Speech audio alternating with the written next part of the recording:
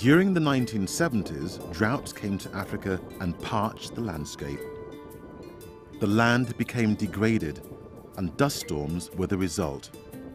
Scientists coined a new word to describe this desertification. Development agencies fought back with tree planting schemes using exotic species like eucalyptus and pine.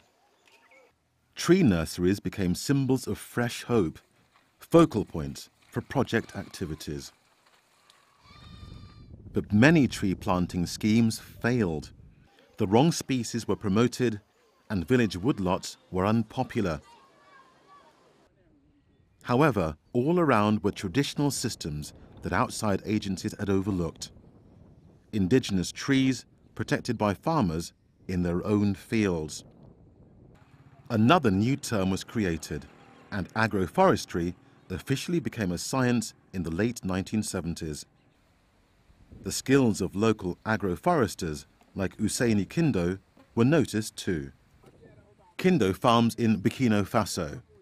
His principle is to mix indigenous species, including Bauhinia, baobab, and Faidherbia with his crops. Farmers have made the best of improved rainfall and helped to re-establish agroforestry parklands on Burkina Faso's central plateau. While most of Kindo's trees come from seeds that he plants, he also makes use of natural regeneration. Farmer-managed natural regeneration is the correct term for this. And in neighboring Niger, there's been a remarkable transformation in recent years. Seen from above, the difference in one village, Galma, is extraordinary. In 1975, tree cover was sparse. Three decades later, on-farm trees dominated the landscape. But what is farmer-managed natural regeneration? Gero Chaibu leads a project that supports farmers in their efforts. He explains the technique. Well, farmer-managed natural regeneration means choosing shoots that emerge in the field.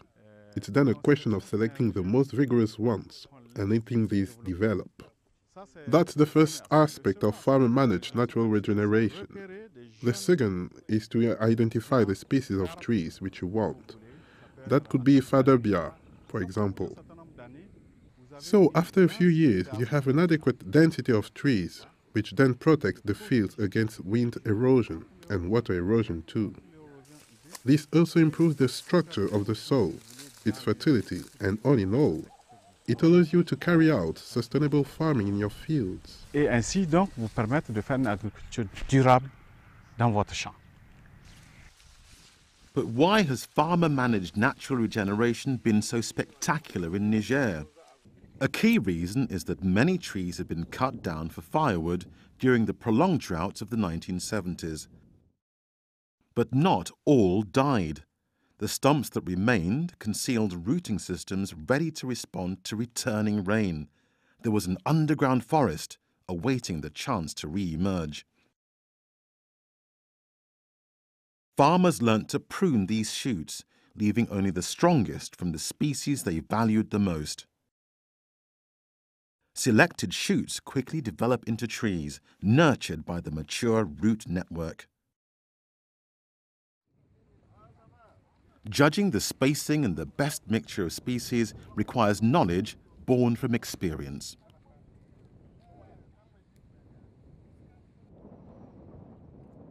Careful pruning is another essential ability. Professor Adam Tudu from the University of Niamey tells us how these skills have been sharpened and how a new mentality has simultaneously emerged. La RNA, ce n'est pas un nouveau système. La RNA a toujours été. Euh, Farmer managed natural regeneration isn't a new system. It's always been carried out by farmers in Niger. And everywhere you will see trees that have been protected in the fields. What's new is that the farmers who have been using the system have now understood that they can improve it by developing a higher density of trees in their fields. And they are aware of the fact that they must diversify the species also. They are conscious that these trees restore fertility to the soil, better than the fallow systems which have disappeared.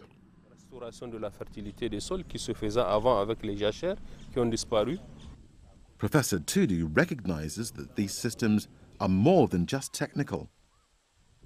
La RNA aussi, les arbres dans les champs, ont, on l'a vu, un rôle social.